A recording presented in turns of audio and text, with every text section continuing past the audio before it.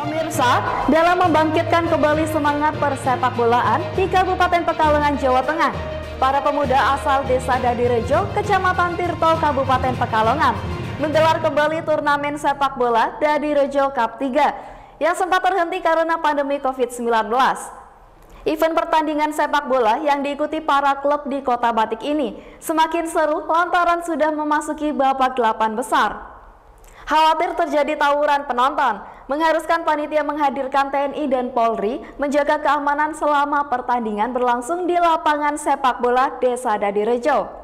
Para pecinta sepak bola tanah air patut berbahagia. Lantaran pasca rehat dari masa pandemi, kini event turnamen sepak bola skala nasional dan desa mulai kembali marak diputar.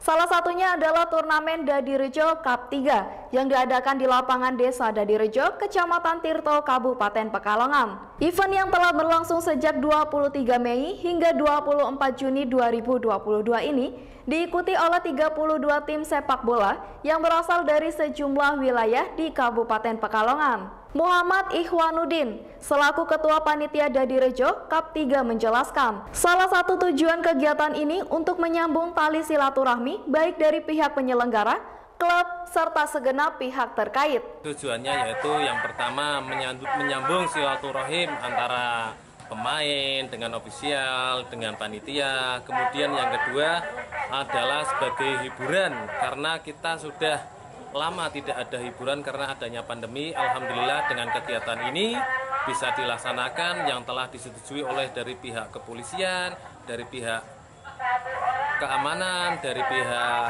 gugus COVID dan juga tentunya dari pihak ASKAP atau PSSI-nya Kabupaten Pekalongan. Mengingat pertandingan sudah memasuki delapan besar serta antusias penonton cukup tinggi, aparat keamanan dari TNI dan Polri dilibatkan panitia menjaga keamanan kelangsungan pertandingan agar berjalan lancar serta kondusif. Yang ada di sini panitia mungkin habis 100 orang, jadi cukup banyak yang ada yang bertugas di lapangan untuk sore hari ini. Pertandingan yang berlangsung pada Kamis 16 Juni 2022 pukul setengah 4 sore ini mempertemukan tim Palapa FC sebagai juara pertahan dengan tim Persik Sidorejo. Dari kedua belah pihak mengaku sudah menyiapkan sejumlah persiapan dalam menyambut pertandingan kali ini. Persiapan sore hari ini kita masih tetap seperti yang kemarin, cuma kita tekankan pada pemain tengah kita untuk bermain terbuka menyerang kita coba untuk tidak bertahan kita coba menyerang. Kita udah latihan dari jauh-jauh hari sih pak.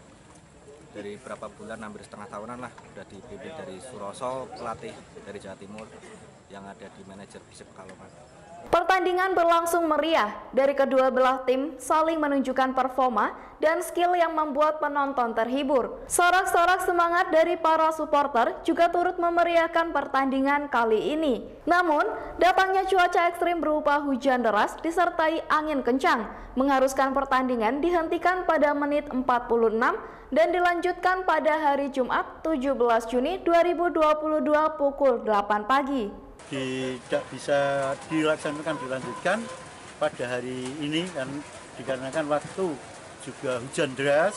Yang kedua waktu sudah menunjukkan jam 5.35 dari Pekalongan Jawa Tengah Fahri Akbar MTV Jateng mengabarkan